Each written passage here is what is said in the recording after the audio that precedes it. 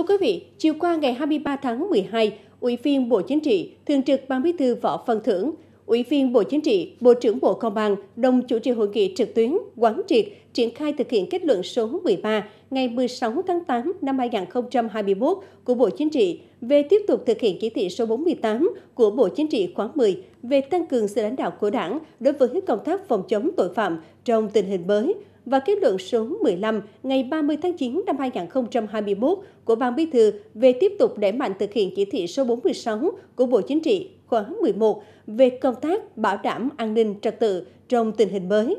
Tại điểm cầu Đà Nẵng, Ủy viên Trung ương Đảng, Bí thư Thành ủy, trưởng đoàn đại biểu Quốc hội đơn vị thành phố Nguyễn Văn Quảng và Phó Bí thư Thành ủy, Chủ tịch Ủy ban nhân dân thành phố Lê Trung Chinh đồng chủ trì. Tại hội nghị, các đại biểu đã được nghe những nội dung cốt lõi của chỉ thị số 48 về tăng cường sự lãnh đạo của Đảng đối với công tác phòng chống tội phạm trong tình hình mới. Tại Đà Nẵng, công tác phòng chống tội phạm đảm bảo an ninh trật tự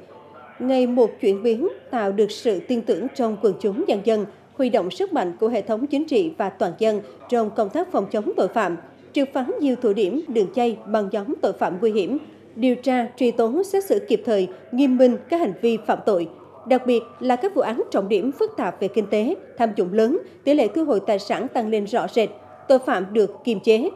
Nhiều nội dung đạt và vượt các chỉ tiêu quốc hội chính phủ đề ra. Lực lượng chuyên trách đấu tranh phòng chống tội phạm tiếp tục được củng cố kiện toàn, tinh gọn, năng lực chuyên môn nghiệp vụ pháp luật được nâng cao và tăng cường về cơ sở, đầu tư trang bị phương tiện kỹ thuật từng bước đáp ứng yêu cầu công tác đấu tranh phòng chống tội phạm đặt ra trong thực tiễn. Thời gian đến, để thực hiện tốt chỉ thị số 48 của Đảng, Công an thành phố Đà Nẵng tiếp tục chủ động phòng ngừa, ra quân trấn áp các loại tội phạm, tích cực đấu tranh, xử lý nghiêm minh kịp thời, không có vụ cấm, không có ngoại lệ với những hành vi phạm tội để người dân có một cái Tết an bình trọn vẹn.